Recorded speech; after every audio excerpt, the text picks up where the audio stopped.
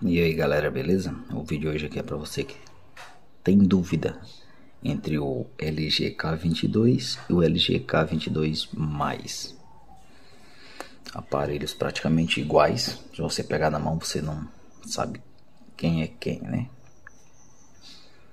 Abri aqui o aplicativo nos dois.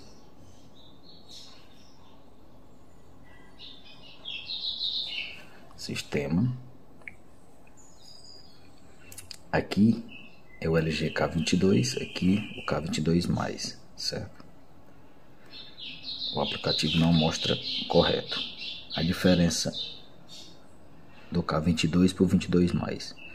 Você já viu aqui, ó, 2 GB de memória RAM. O armazenamento aqui total é 32 GB de memória interna, certo? 2 GB com 32.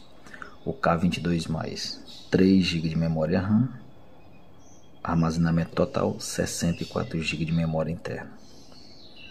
3 com 64, 2 com 32. Processador.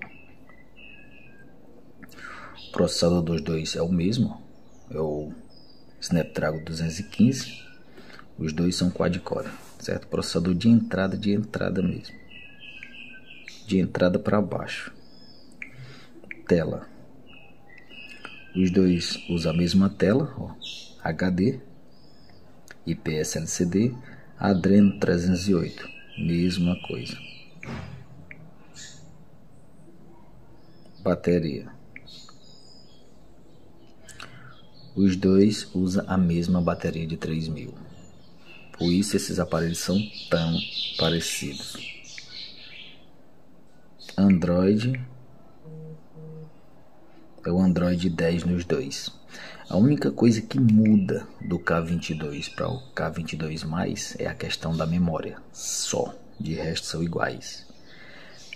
K22 2 GB com 32 GB de memória interna, K22 3 GB com 64 GB de memória interna. De resto são iguais.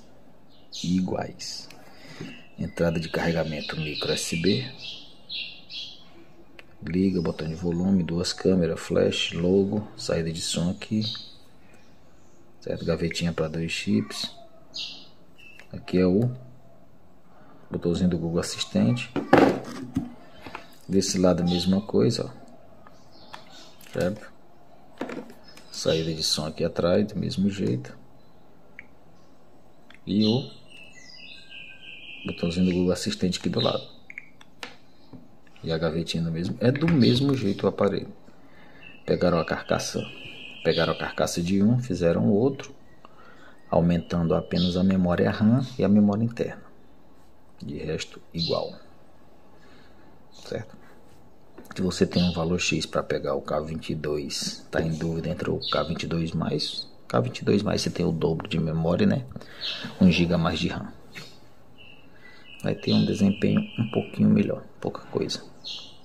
Mas vale mais a pena o K22 mais, apesar que os dois aparelhos são muito fracos, muito fraco. O processador de entrada deles aqui é muito fraco. Deixa o like se inscreve, tamo junto até o próximo vídeo. Valeu.